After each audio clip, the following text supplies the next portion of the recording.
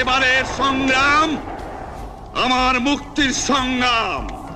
এবারের সংগ্রাম, স্বাধীনতার সংগ্রাম। আমার, পঁচিশ তারিখে অ্যাসেম্বলি কল করেছে, প্রত্যেক দাগ শুকায় নাই। আমি দশ তারিখে বলে দিয়েছি যে ওই শহীদের রক্তের উপর দিয়ে পাড়া দিয়ে আরটিসিতে মুজিবুর রহমান যোগদান করতে পারে না। অ্যাসেম্বলি কল করেছেন, আমার দাবি মানতে হবে প্রথম। ঐতিহাসিক সাতই মার্চ, বাঙালি জাতির দীর্ঘ স্বাধীনতা সংগ্রাম ও মুক্তিযুদ্ধের ইতিহাসে এক অনন্য দিন।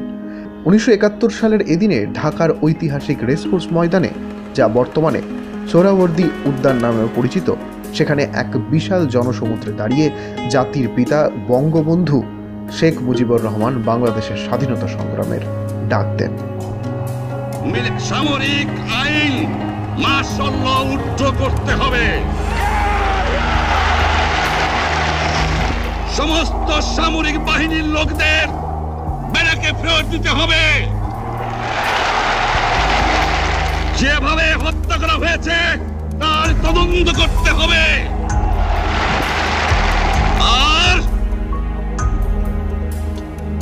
জনগণের প্রতিনিধির কাছে ক্ষমতা হস্তান্তর করতে হবে।